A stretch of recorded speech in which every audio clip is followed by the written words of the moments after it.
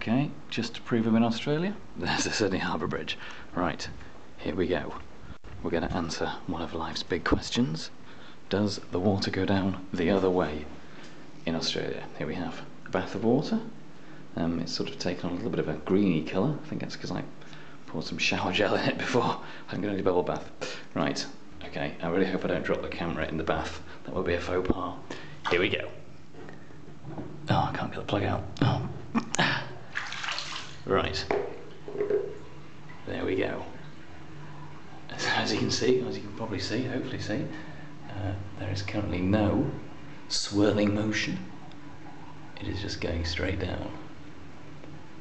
Yeah, I think this could be quite a long video actually. Let's just uh, have a look round while we're waiting.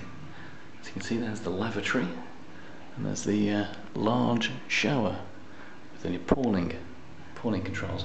Right, so what's happening now? Well, it's still not rotating.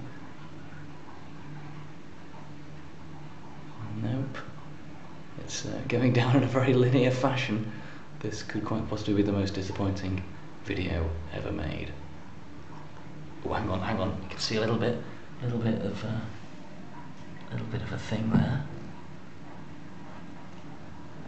No, it's still not really going around in a circular fashion. Oh, here we go. Here we go. Is it still not? Is it?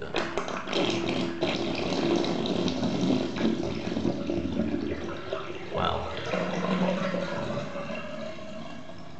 I don't know if you could make that out, but it looked to me like it was going clockwise at the end. Uh, don't know what that proves, but anyway, now I can't stop the camera because I've got a wet hand. Hang on a minute.